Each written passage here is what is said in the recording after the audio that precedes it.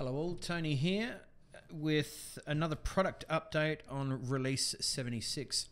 This one is got to do with um, with reports and custom fields. So at the moment, if I was to go up into the search for anything and I was to type in a custom field here, and I go to my consignment custom fields, what I've added in here is is a, a, date custom field, which is a collection by a third party. Now, when you're doing a, um, a bulk export of consignments, you may want to go through and filter via this. So what we've done is we've tried to make it a little bit easier.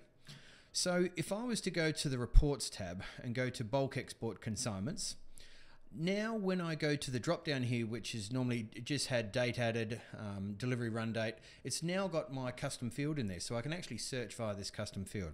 So I'll click on the collection by third party and I've gone in and I've added a few consignments for today's date. And if I go into export, I actually get the bulk export consignments. It's given me two consignments here, which if I scroll over to right to the very right hand side, I've now got uh, in the last column collection by a third party and it's got the date there. So now we can filter via dates um, if you put in a, a, custom field which is a date range or as a, as a date custom field.